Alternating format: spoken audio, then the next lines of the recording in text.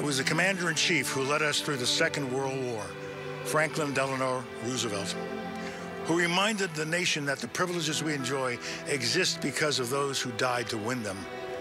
As we do every Memorial Day, we resolve to remember everyone who has fallen in all our nation's wars, from the fight for freedom that began in 1775 all the way through the crisis and challenges of today.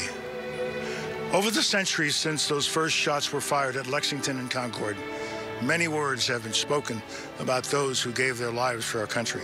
But to me, perhaps the most powerful words were spoken in a Pennsylvania field on a November day 157 years ago by our 16th president.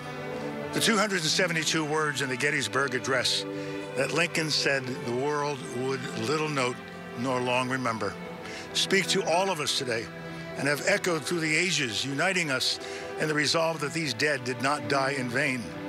Perhaps just as powerful as those 272 words are the 24 musical notes that mark the final bugle call to America's fallen.